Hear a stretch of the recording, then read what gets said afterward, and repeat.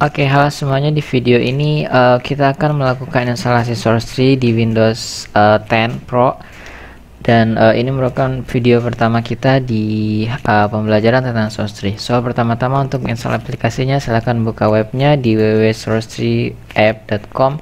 Terus pilih yang download for Windows. Terus uh, langsung aja di start download. Tunggu beberapa detik 10 9 uh, di pause dulu aja eh nggak apa-apa sih udah hampir selesai juga lah. Nah um, setelah itu langsung diinstal aja. Oh ini bisa dilihat preview source tree kayak gini ya.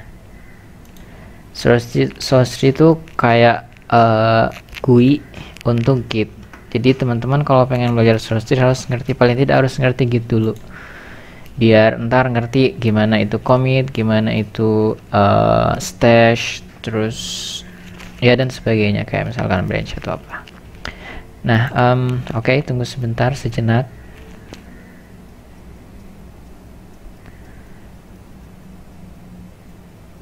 Oh ya ini tuh saya belum install git ya di belakang ya.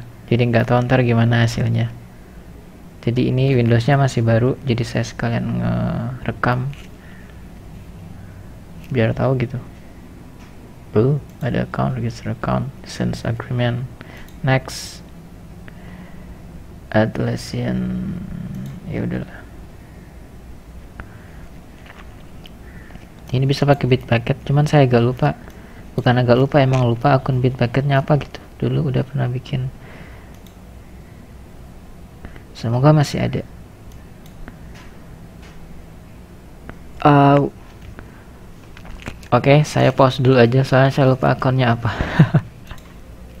Oke, okay, sip. Jadi saya login pakai yosuka187gmail.com. Uh, next aja. Oh ini ya.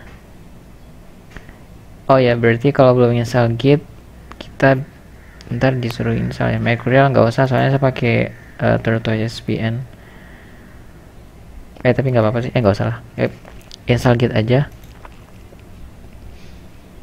Download git oh ya kalau teman-teman udah install git harusnya step ini bisa di skip. Bukan di skip sih kayaknya sih nggak muncul di sini ya.